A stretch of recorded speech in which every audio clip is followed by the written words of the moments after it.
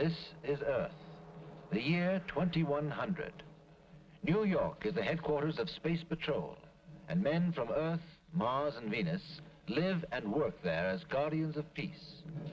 This is the story of those men whose courage and daring make the universe safe for us all.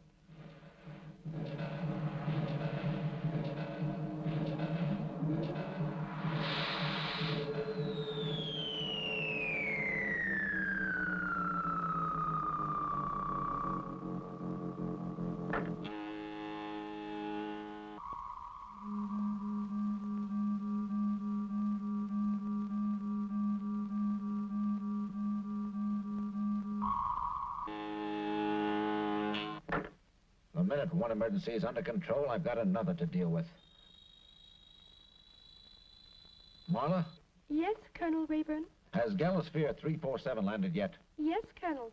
Captain Dart and his crew are already in contamination control. Tell Dart to come and see me immediately. He's been cleared. We've no time to waste. Very good, sir. See that another Galasphere is prepared for immediate takeoff. One will be ready in two hours. That's too long. This is an emergency. Make it an hour. Right, sir. We'll bring in an emergency rehabilitation crew.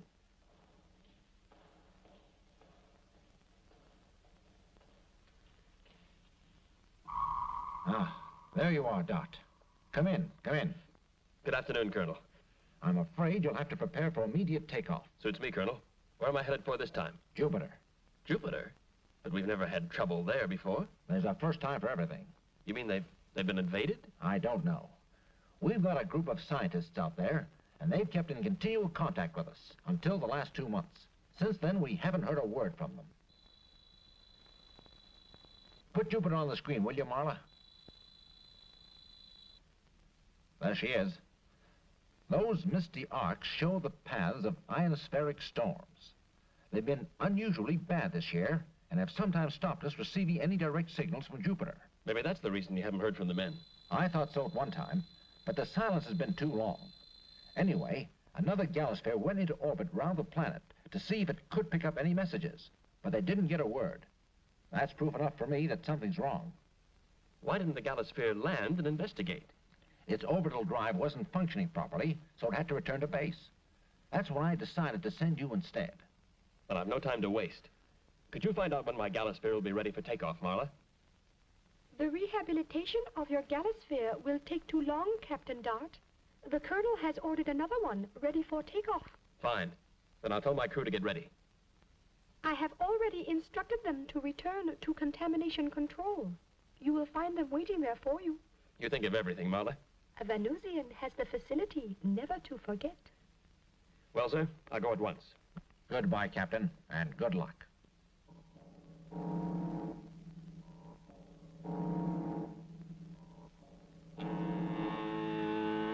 Since I have been a member of Captain Dart's crew, I've not had the opportunity to return home to Venus. And I haven't been able to go back to Mars. But there's no use creeping. I am not creeping, Husky. I am griping.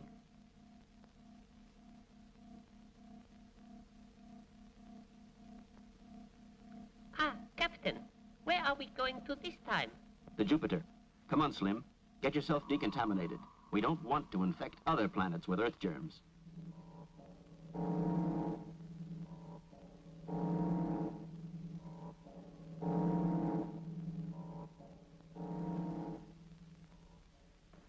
I never thought I'd be seeing this corridor again so soon. Neither did I.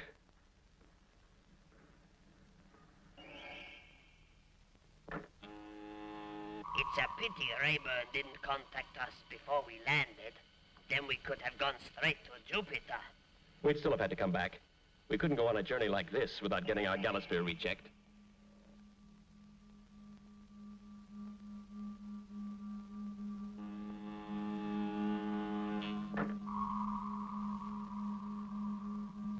You check off first, Slim. Galasphere 024 calling Central Control. Closing inner vacuum door. Central control to Galasphere 024. Inner vacuum door now closed. Primary drive functioning. Check. Orbital drive on. Check. Interplanetary overdrive on. Everything's ready, Captain. Fine. Husky? Orbital speed 0 to 20,000 miles an hour. Speed maintained.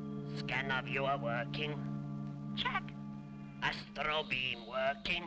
Check. Gamma rays on. Yoba rays on.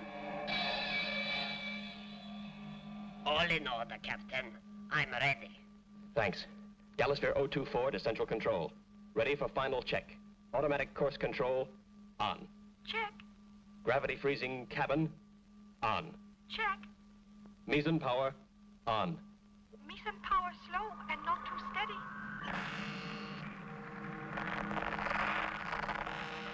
Meson power not picking up. What's your weight? 289,000 pounds. Recheck weight, please. You're too heavy. We've extra equipment on board for possible Jupiter landing. I'll switch on weight controllers. How is it now?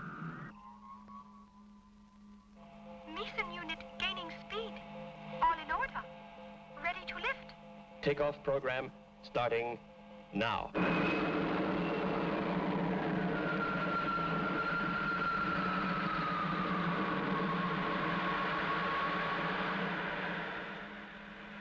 Speed 5,000 miles an hour rising.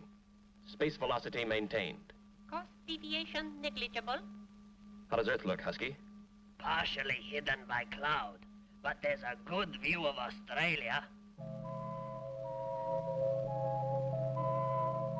Relax, boys. The worst is over. We better get into the freezer.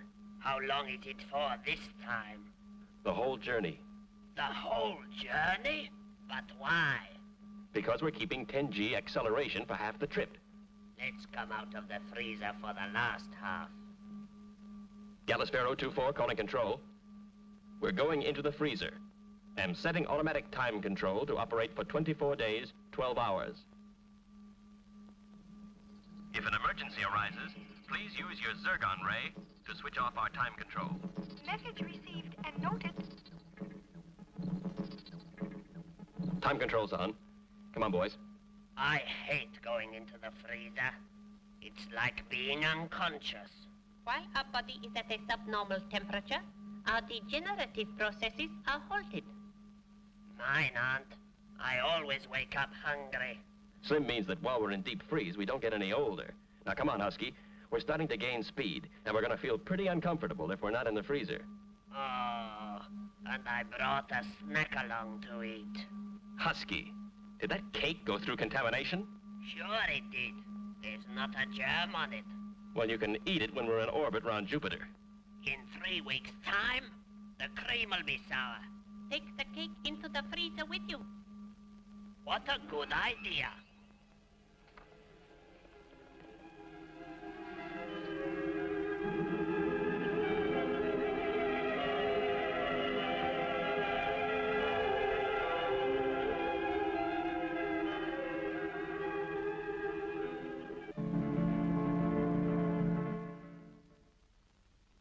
A few seconds, Mars will block our view of the Galasphere.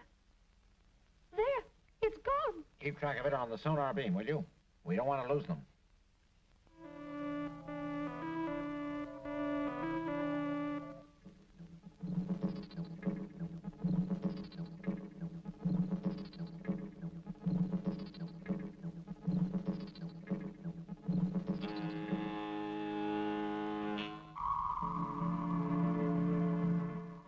Control's off.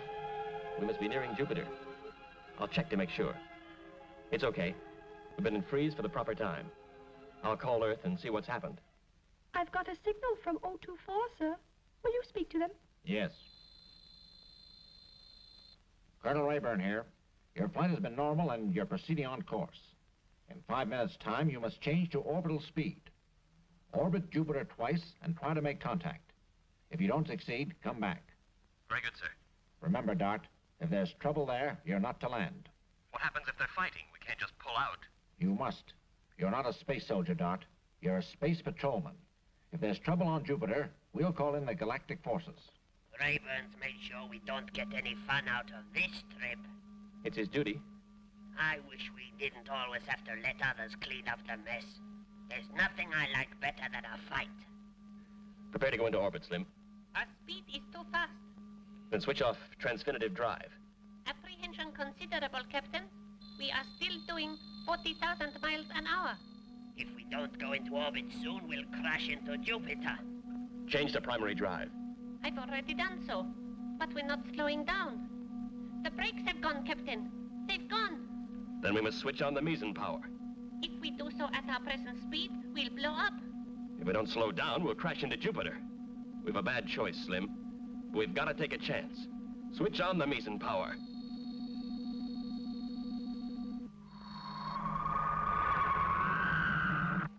I'm afraid, Captain. I don't mind danger, but waiting like this. If we don't slow down soon, it'll be too late.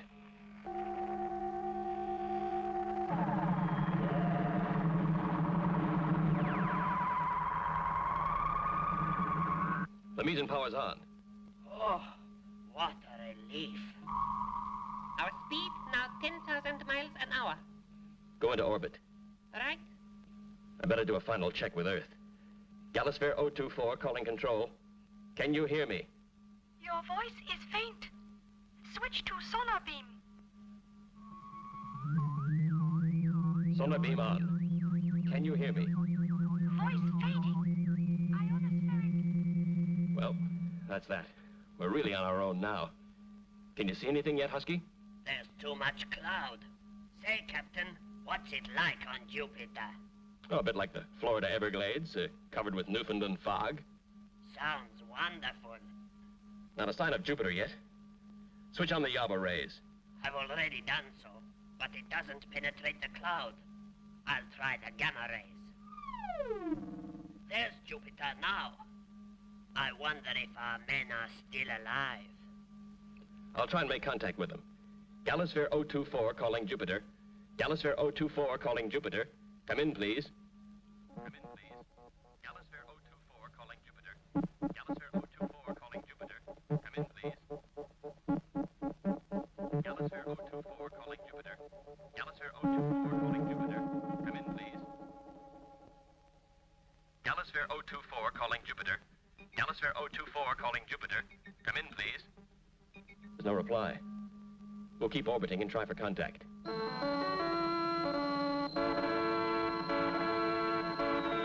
Another Galasphere is trying to make contact, Doctor. What shall we do? Nothing. They'll try for a while, and then they'll go away. What if they come into land? I don't like it. You've only yourself to blame. If you hadn't killed the Earthmen, we could have forced them to signal that everything was all right. I didn't mean to kill them. Galasphere 024 calling Jupiter. Come in, please. They're making me nervous. I'll switch off. Don't. I like to hear what they're doing. That's more than I do. Why can't we leave now? We've enough Lumi skins. If we stay another week, we can get a hundred more. Think what that means. We'll be the richest men on Mars. I'll settle for less. Well, I won't. Get the gun. I never thought I'd feel squeamish at having to kill Lumis. But they're such pathetic-looking creatures. If you want to quit, No, no, no, I didn't mean that. well, stop complaining. Do you think it's all right to leave this? Why not? The Jovians are too stupid to work it.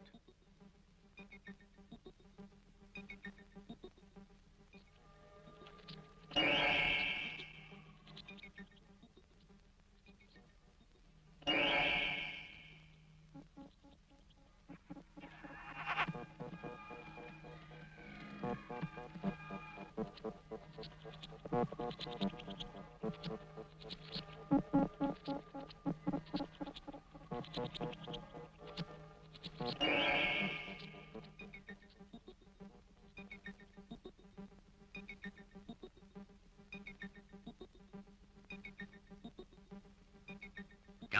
024 calling Jupiter.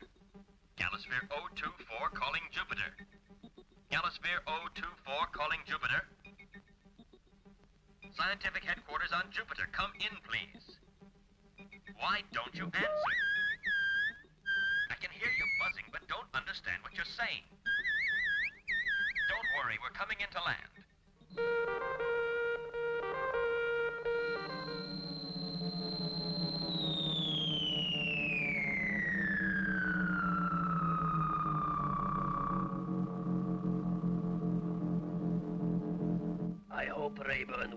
Angry that we're disobeying him. Our orders were not to land unless we made contact, and we did make contact.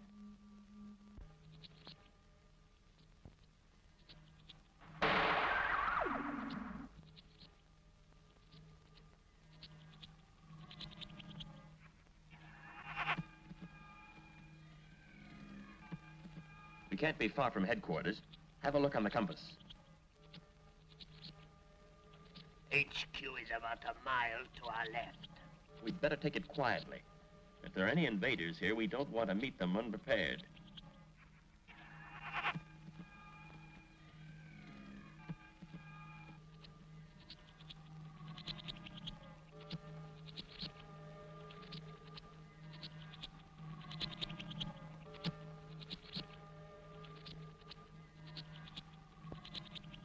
I can see water ahead. Shall we make for it? No, the water here is poisonous. So's the air. Even with my molang, I don't feel so good.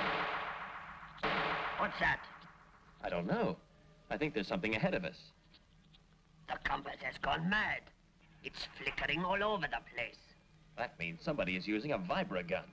And we're picking up the sound waves. Yes, something is going on. But I'm darned if I can see what it is. Look, Captain. Over there.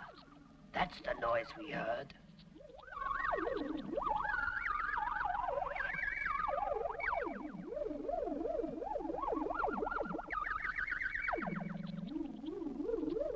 That noise wouldn't make your compass go mad. It was a vibra gun that did that. Shh, duck down. Someone's coming.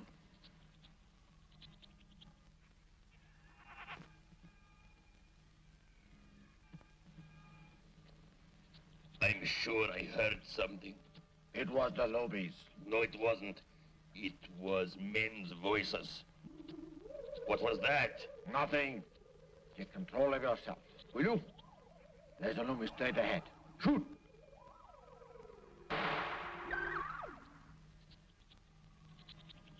That's one more gun.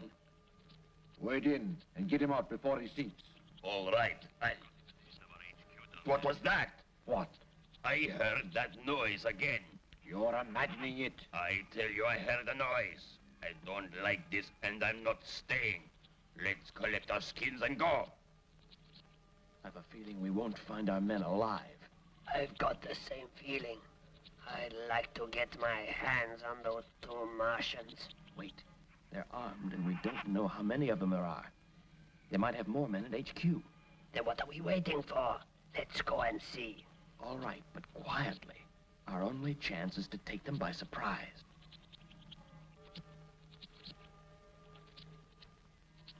That must be headquarters. Take it quietly.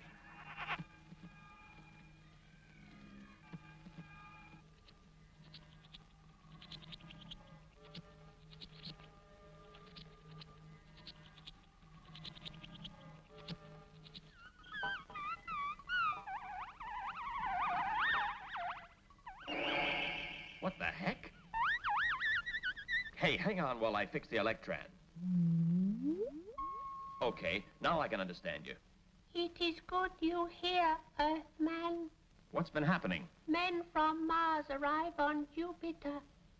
Earthmen see them and fight. All killed. All of them? Yes. Now men from Mars kill Loomis too. Look. See skins? Why are the Martians killing the Loomies? What use are the skins to them? I not know. Cannot understand Mars talk. Only see. Captain, are you okay? Well, look at that.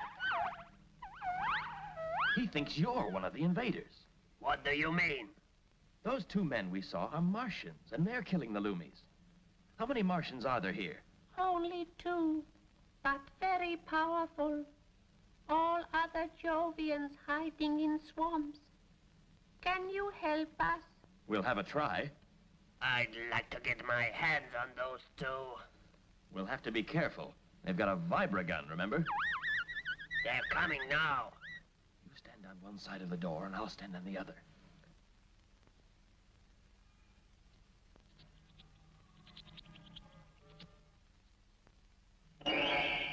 Take all the skins back to our ship. I must be crazy to listen to you. Another week here and we'd be... Another week and you'd kill more innocent animals. Who are you? We're members of Space Patrol. I'm Captain Larry Dart. I'm Dr. Moll. I am a scientist, and my assistant and I came here to study Jovian life. What happened to the Earth scientists? An unfortunate accident. That wasn't the story I heard. What happened to the Earthmen was unfortunate, but we cannot be blamed for it. Do you have permission to land on the planet? Unfortunately, we uh, have no license. An oversight, of course. Oversight. You came here to kill animals, and you're breaking the United Galactic laws. Husky's right. But a few animals. It looks more than a few to me. Why do you want the skins? That's my business. Tell him, Doctor. Maybe we can cut him in and, uh... Be quiet. I won't. The skins have got special properties. They're as light as cotton wool, and if you hit them, they remain warm for years. A permanent hot water bottle. You fools! If only you had the sense to realize what this means, you could earn yourselves a million. At the expense of killing the only animal life on Jupiter. Who cares about animals? The colonists on Pluto would pay a fortune for these coats. Watch out, Husky.